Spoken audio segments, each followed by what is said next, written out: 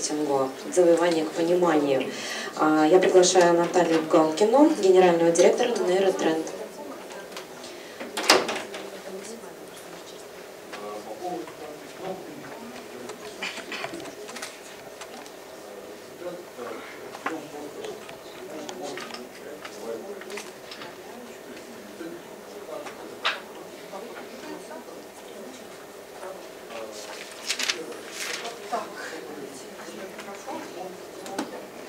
Всем здравствуйте, меня зовут Наталья Галкина. Я буду говорить, с одной стороны, о новом течении в России, а с другой стороны, о том, о чем уже многие а, слышали, много раз перемалывалось в последние годы, а, возникло в России много пены на эту тему, и постараюсь внести некую ясность, потому что, во-первых, мы являемся единственной компанией, которая входит в мировую международную ассоциацию нейромаркетинга. А, во-вторых, по первому образованию я нейрофизиолог, а по второму финансист.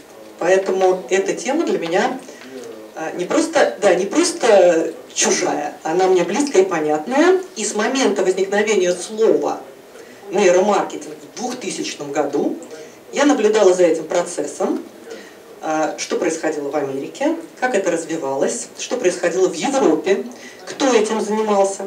На сегодняшний день у меня, например, есть перечень всех приборов, которыми можно работать в нейромаркетинге, например, айтрекинговых, и где они находятся? На территории России, у каких агентств, какие у, у этих приборов разрешения, что с помощью этих приборов можно делать, а что делать нельзя. Поэтому я на самом деле давайте сосредоточусь именно на этом, потому что э, ну, такие некие мои э, вступления, они были связаны, опять-таки я понимала, какой здесь формат, и мне хотелось привязаться все равно к определенным исследованиям в этой области, но вот то, что я даже слышала из-за того, что произошло такое смещение по времени, я понимаю, что все эти вопросы затрагивались. Э, вы можете, опять-таки, мою презентацию посмотреть. Более того, я ее старалась составлять следующим образом. Если я на что-то ссылалась, на какие-то исследования, я обязательно давала ссылку на полное исследование. Можно посмотреть, откуда это взято и почему. Поэтому мы, собственно, не будем на этом останавливаться. Значит, сегодня звучало, быстро повторю, барьеры к пользованию финансовыми услугами, высокая сложность финансовых продуктов, отсутствие унифицированного представления их э, характеристик и условий пользования и надежность поставщика как, как организации. При этом я хочу вот тоже еще несколько слов э, сказать о том, что я в свое время работала в Центральном банке. И на самом деле вопрос лояльности и вообще образа банка, неважно банка коммерческого, а, микрофинансовой организации, центрального банка, это действительно очень сложный вопрос. Мы все прекрасно понимаем, что любой банк, мы уже не говорим там о функциях, живет на, то, на том, что он должен дешево привлечь и дорого разместить. Это ростовщичество. Это сидит внутри столетиями. Поэтому создание образа, создание лояльности – это действительно крайне сложный вопрос. Потому что мы психологически, изначально, глубоко внутри плохо относимся к ростовщичеству. А банковская деятельность – это прежде всего ростовщичество. Что хотела сказать? И сегодня это тоже затрагивалось. Но на самом деле это преподают, это преподают в MBA, это преподают в западных вузах, это преподают в Америке.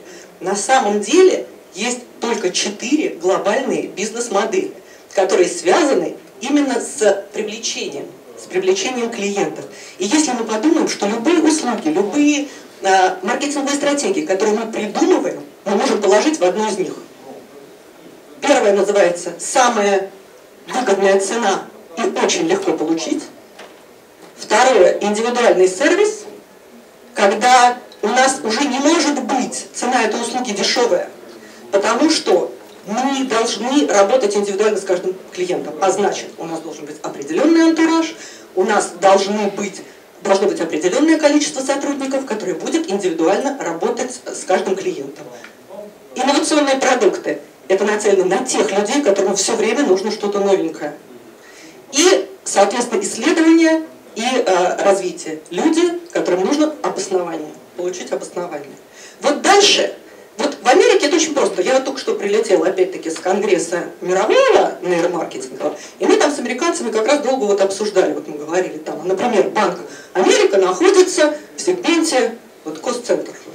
Ну вот очевидно, то есть легко, просто как бы около каждого, около каждой кассы стоит банкомат и всегда дешево. Вот. И на самом деле они не прыгают из сегмента в сегмент. И сегодня об этом тоже говорилось. Мы все стараемся вот так по-русски загрести, значит, большим гребнем. И поэтому на самом деле дальше занимаемся внутренним каннибализмом. Поедаем друг другу, мешаем друг другу и оказываем на самом деле низкокачественные очень часто услуги. То есть такие, в общем, очевидные совершенно вещи. А Следующий, следующий тезис мой. Вот следующий тезис в том, что на самом деле, вот опять-таки, когда мы говорим, вот сейчас уже пошли, вот прям на самом деле, я вот смотрю на вас, то есть пошли именно в повторные продажи и в то, что конечный потребитель должен получить удовольствие от пользования услугой. При этом все критерии и стандарты в банках, и неважно где, в банках, в розничной торговле, там, в, на, на всех рынках, заканчиваются в тот момент, когда совершена продажа. У нас наших продавцов премируют в тот момент, когда они продали любой ценой задача. Задача продать любой ценой. И мы на самом деле очень часто встречаем сейчас среди там, наших клиентов, когда они говорят, да, у меня совершенно потрясающий продажник, ну просто чудовищный. Уволила бы сразу самые высокие показатели. Но так агрессивно, как он себя ведет с клиентами, ну вот это за зла. Понятно, что это, вот знаете, это пока нету такой плотности в категории. Как только плотность до, до, до, достигнет определенного этапа, это пройдет. Это абсолютно болезненно. Еще раз, аргументы можно посмотреть, я дальше их всех разверну. Значит, рейтинги банковские все знают, можно обратиться, низкую лояльность демонстрируют. Мы, это, кстати, наша российская ментальность. У нас работает сарафанное радио. Сарафанное радио как на положительный исследует, на положительный э, experience, так и на отрицательный. Мы за компанию ударимся, ну, зря же, собственно, и за компанию что угодно будем делать. В кино пойдем, кредиты будем брать, а, опять-таки, не знаю, там что, гарантии давать друзьям. Вот. И дальше. Информация предоставляется так, что трудно сделать информированный выбор. Это действительно, об этом тоже сегодня говорили. Я здесь даю, я дала немножечко по лояльности российским банков, но вы можете посмотреть, и все это смотрят, банкинг.ру. Есть народный рейтинг, есть э, более серьезные исследования. Но основной вывод, ради чего я, собственно, это сюда разместила, это то, что эксперты прогнозируют удовлетворенность э, российским банкам будет снижаться. Мы в этой реальности. Ничего другого сегодня нам дано не будет. Э, ну, понятно, это просто красивая картинка по поводу сарафанного радио. И исследование Конфаб, я даю тоже на него ссылку здесь. На самом деле оно очень интересное, потому что оно было нацелено на то, э, именно на информационную асимметрию. Вот просто, если кто интересуется, к нему можно обратиться, его можно найти, посмотреть целиком. И как раз я показываю, что о максимальной процентной ставке не понимают 22%, а о штрафных санкциях по кредиту не понимают 22%. Ну, то есть такие, знаете, самые узловые, значимые, значимые вещи для, собственно, банка. Таким образом, необходимо понять, что хочет потребитель и выявить его подлинное желание. Теперь несколько слов о том, что вообще в принципе будет с маркетингом. Да, конечно.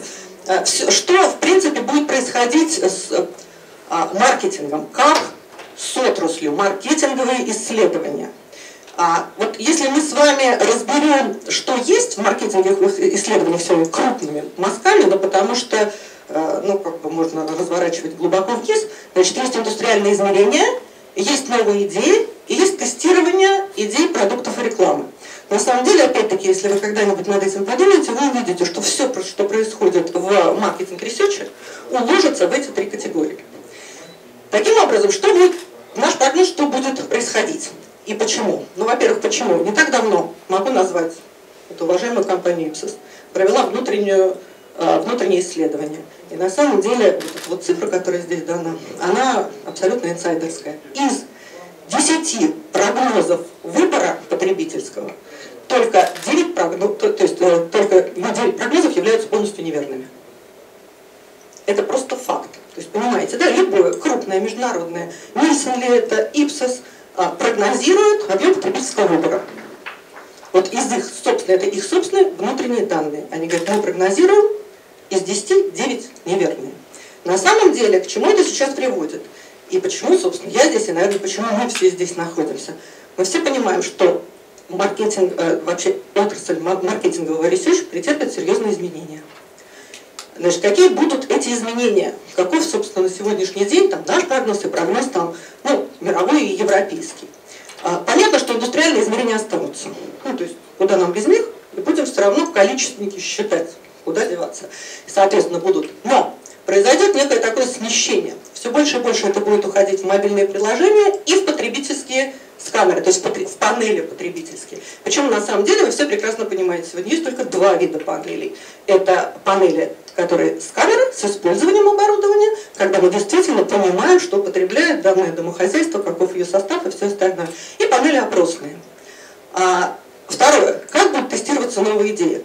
Вот социология, в принципе, останется Э, во многом в тестировании новых идей. То есть когда еще нет, нет визуализации, нет образов, есть идеи, которые надо оттестировать. Вот здесь останется качественная социология. Это единственное место, где, собственно, по нашему прогнозу к 2020 году останется качественная социология. При этом а, исследования количественные будут все больше и больше уходить в социальные сети, бигдейта, интернет, потому что это просто, дешево, и плюс мы видим профиль тех людей, которые отвечают на эти вопросы. И, соответственно, пассивное наблюдение и измерение, вот, ну, то, о чем тоже сегодня много уже здесь говорили. Значит, каким образом будет происходить тестирование идей, продуктов и рекламы? Вот здесь вот любое тестирование, а, и этот процесс уже пошел, не будет обходиться без, без а, нейромаркетинга и поведенческой экономики. То есть, ну, всем известна там Нобелевская премия 2002 года и возникновение науки поведенческой экономики, поэтому об этом не говорю. А, опять-таки, кому интересно, у нас а, ну, то есть я читаю в университете, в Московском государственном университете на экономическом факультете курс нейроэкономики, нейромаркетинга. И если что-то интересно, там могу дать какие-то презентации, порекомендовать, что почитать. А почему нейромаркетинг? Потому что, опять-таки, никто ничего другого не придумает. Есть пять ключей, ключей доступа к потребителю. Это, соответственно, эмоции, это зеркальные нейроны, соматические маркеры, орган, органы чувств и воздействие на подсознание. Опять-таки у меня здесь есть ссылки, откуда и почему это берется. Остается один единственный вопрос. Как бы, если мы работаем там через эмоции, если мы работаем через органы чувств, через соматические маркеры, как это померить? Нам нужно это померить. Если мы людей спрашиваем, то ответы субъективны. И вообще действует психологическая модель. А, думаю одно, говорю другое, делаю третье. Таким образом, возникли нейрометоды. Что, чем и как. Понятно, что. Значит, почему, в принципе, появились э, нейронауки в маркетинге? Потому что это возможность померить, ну, мы все знаем огромное количество пословиц, смотрел, не отрывая глаз. А, счастлив, там, сердце замерло от, от страха, а, там, а, наблюдал, затаив дыхание. То есть у нас есть физиологические реакции, которые совершенно, которыми люди не могут а, управлять а, осознанно. Ну, то есть для этого требуются отдельные усилия. Значит, нейромаркетинг в своей основе меряет физиологические реакции человека.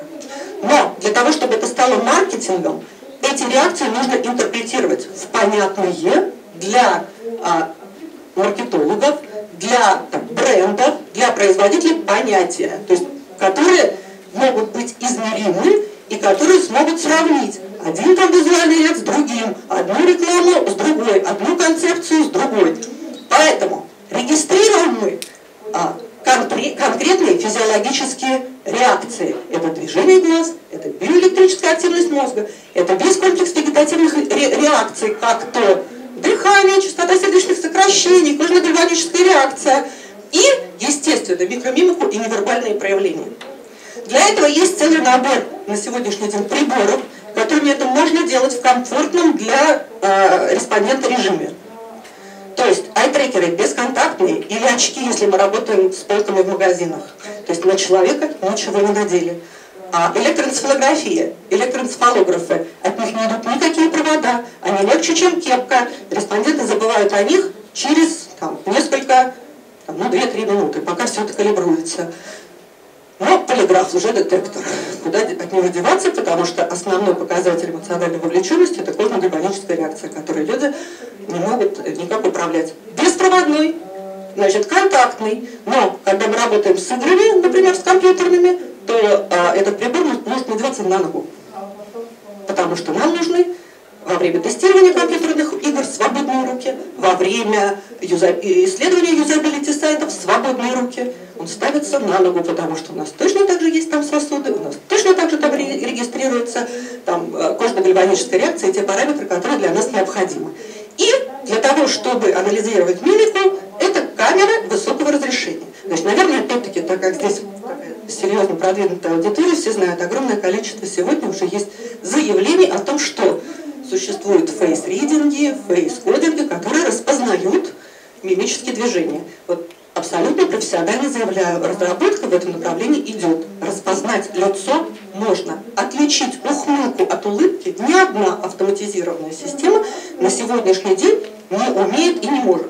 Конечно, пройдет очень небольшое количество времени, и это будет решено. Но пока этого нет. Поэтому, когда мы говорим, и почему мы ставим камеры высокого разрешения, потому что вот этой интерпретацией дальше занимаются эксперты. А почему мы пишем? Для того, чтобы подтвердить. Потому что когда мы говорим, что вот здесь была вот такая эмоция, мы должны выбросить имидж тех респондентов, которые в этот момент, собственно, смотрели на этот видеоряд, ну, в зависимости от того, что мы тестируем. Что тестировать, совершенно не важно. Какие показатели? На самом деле на сегодняшний день уже в мире существует white paper, существует некий стандарт того, какие показатели используются в маркетинге. А это, это внимание, это интерес, как такой уже осознанный интерес, это запоминание и это эмоция. Вот такую делаем обычно таблицу, из которой я хочу показать, которую я обычно показываю, собственно, вклад каких измерений в какой параметр вносится. И вот здесь вот есть традиционные методы. Нету на сегодняшний день приборов, которые читают мысли.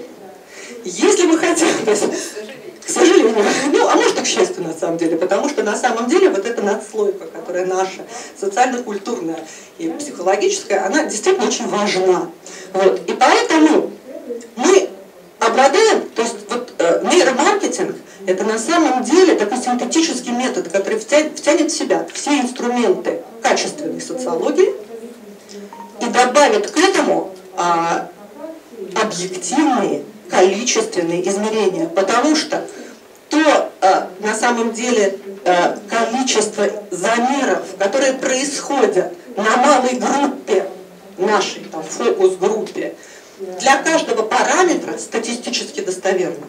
И это очень важный момент, потому что, опять-таки, та же биологическая гауссовская выборка, она 30 респондентов. Это не так много, нам не надо мерить очень много. А в группе, ну на самом деле, а достаточно, и для этого есть опять-таки статьи научные, достаточно считается 20 респондентов. Я вот здесь вот тоже показала, и опять-таки я не буду сильно на этом а, сейчас останавливаться, но много сегодня говорили о текущих и потенциальных клиентах. Вот мы на самом деле это можем померить, не спрашивайте. Текущие лояльные клиенты в стандартной ситуации имеют более высокие показатели и эмоциональной вовлеченности, и внимания, когда им делают какие-либо предложения. Это измеримое